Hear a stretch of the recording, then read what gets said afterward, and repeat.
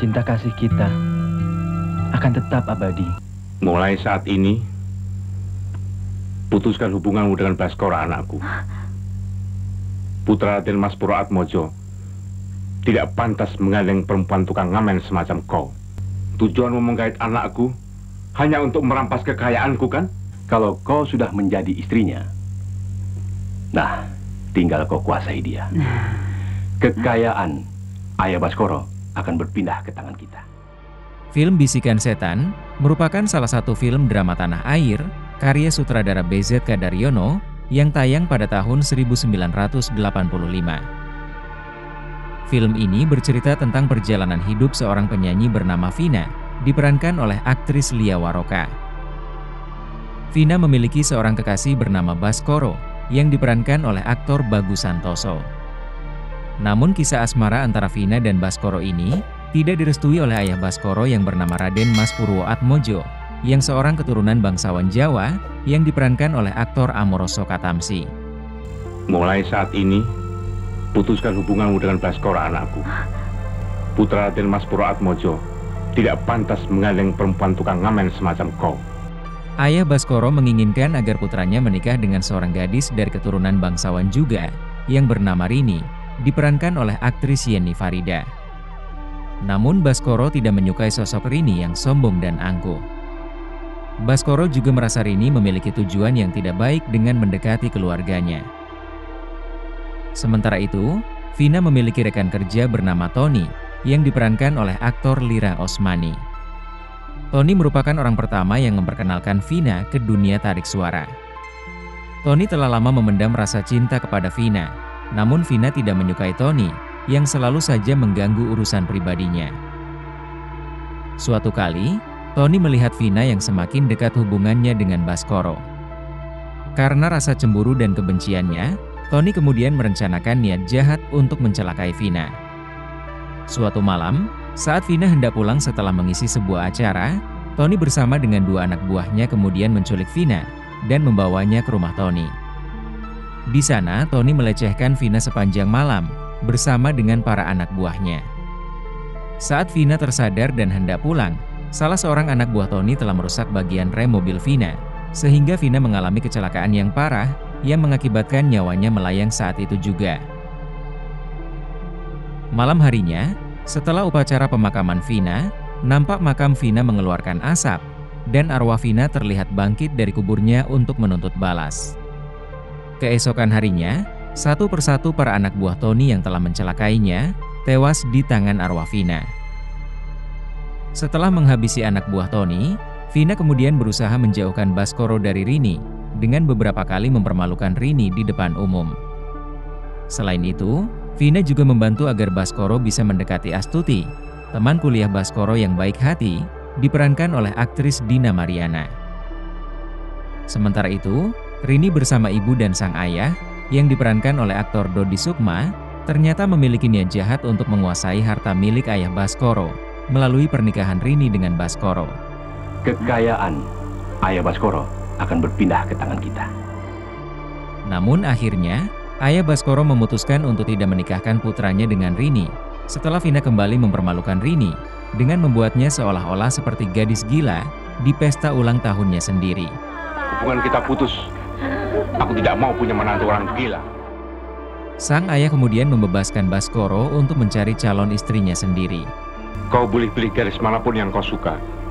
Asal jangan gadis gila itu. Keesokan harinya, Baskoro langsung pergi menuju ke tempat kos Astuti. Namun sesampainya di sana, ibu kos tempat Astuti tinggal mengatakan bahwa Astuti baru saja dijemput oleh Tony. Saat Baskoro menanyakan keberadaan Astuti di dapur rekaman, tempat biasa ia menjemput Vina dulu, sang produser mengungkapkan bahwa dirinya tidak pernah meminta Tony untuk mencari penyanyi baru menggantikan Vina. Saya tidak pernah menyuruh dia untuk mencari penyanyi baru.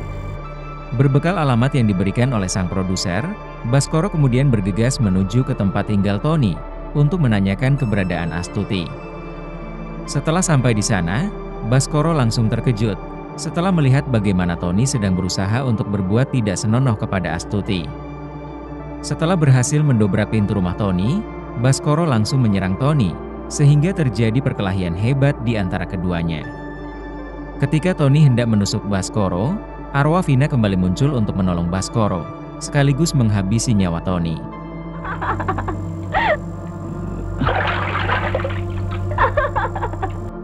Di akhir cerita, arwah Vina ikut merasa bahagia setelah melihat Baskoro dan Astuti selamat dan bisa bersama kembali.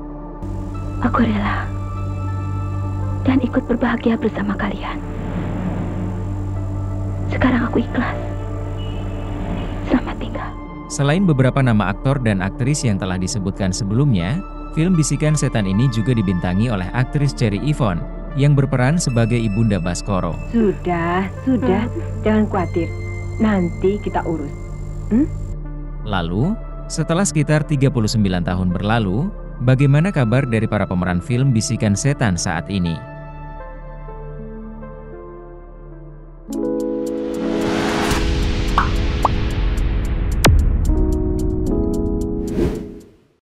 Selain berperan sebagai Vina di film Bisikan Setan, aktris Lia Waroka juga tercatat ikut bermain di sekitar 14 judul film layar lebar lainnya, sejak tahun 1982 hingga 1992. Sudah lama saya tidak pernah berteriak. Tujuh tahun kamu di penjara. Satu tahun kamu nganggur. Kamu bersumpah gak bakalan ninggalin saya. Sekarang kamu datang dengan segala gaya. Apa sih maumu? Aktris yang kini sudah berusia 57 tahun ini, juga sempat membintangi beberapa film Warkop DKI, sejak tahun 1984 hingga 1985. Tenang, tidak ada siapa-siapa. Kalem, kosong. Surat itu pasti ada di sana. Kita tinggal ambil, kita comot, lalu pergi, dan semuanya bakalan beres. Lia Waroka juga diketahui ikut bermain di sekitar lima judul sinetron televisi. Habis gimana tuh, Bah? Apalagi yang mau kita jual? Mau utang sama Ce Salma? Yang dulu aja kan kita belum bayar-bayar.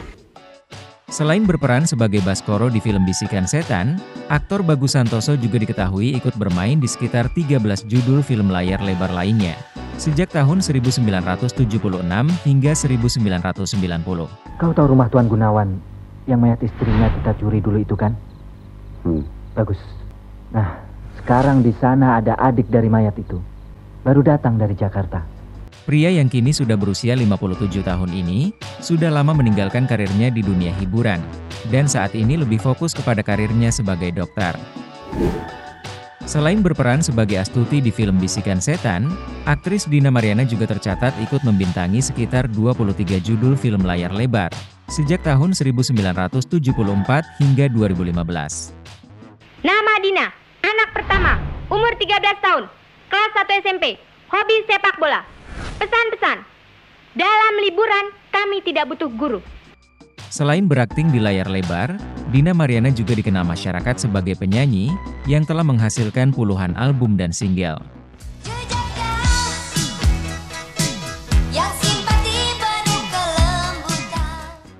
Dina Mariana meninggal dunia pada 3 November 2024, di usianya yang ke-59 tahun. Selain berperan sebagai Rini di film ini, aktris Yeni Farida juga diketahui ikut bermain di lebih dari 40 judul film layar lebar lainnya, sejak tahun 1981 hingga 1993. Ya ampun ini orang. Hah? Terlalu. Sudah siang begini belum bangun juga, Pak. Aduh, Bapak. Aktris yang kini sudah berusia 64 tahun ini, juga sempat berperan di beberapa judul sinetron televisi. Karina itu kan anak yang baik. Anak yang patuh dan berbakti kepada orang tua. Dia pasti mengerti. ya.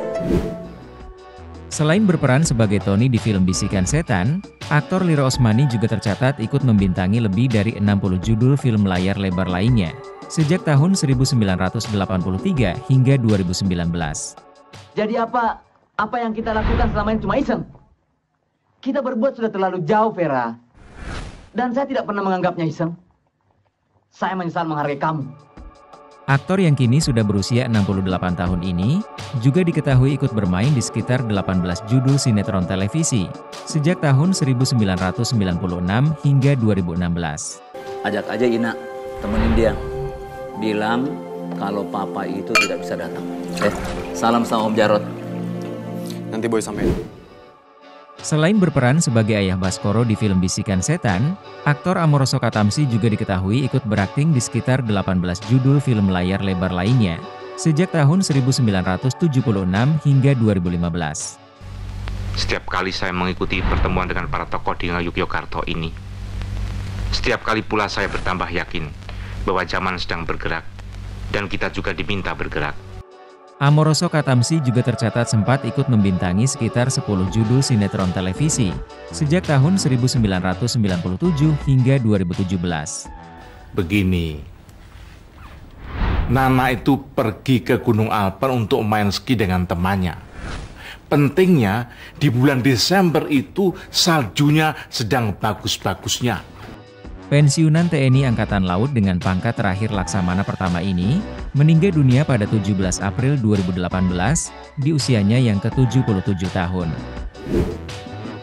Selain berperan sebagai ayah Rini di film ini, aktor Dodi Sukma juga tercatat ikut bermain di sekitar 85 judul film layar lebar, sejak tahun 1961 hingga 1990. Siapa anak yang barusan kemari itu? Teman sekelas, Pak. Jangan bohong. Kau pikir bapak tidak lihat apa yang kau lakukan dengan anak itu?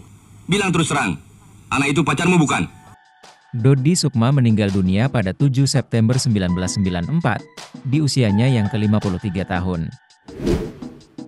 Sementara itu, selain berperan sebagai Bunda Baskoro di film Bisikan Setan, aktris Cherry Von juga diketahui ikut membintangi sekitar 35 judul film layar lebar, sejak tahun 1977 hingga 1994. Eh, sampai kaget. Masak? Hmm, kirain siapa? Hmm. Sayangnya, kami tidak menemukan data terkait kabar terkini dari aktris kelahiran tahun 1948 ini. Malam ini, aku sangat bahagia. Demikian sedikit informasi terkait kabar dari para pemain film Bisikan Setan yang tayang pada tahun 1985 lalu. Kau ada hubungan dengan anakku kan? Uh, benar, Pak. Bagus, bagus. Bila ada tambahan informasi lainnya, silakan tulis di kolom komentar. Thank you. Thank you. Thank you. Thank you. Thank you. Thank you. Tetap dukung perfilman Indonesia, dan sampai jumpa di video best list selanjutnya.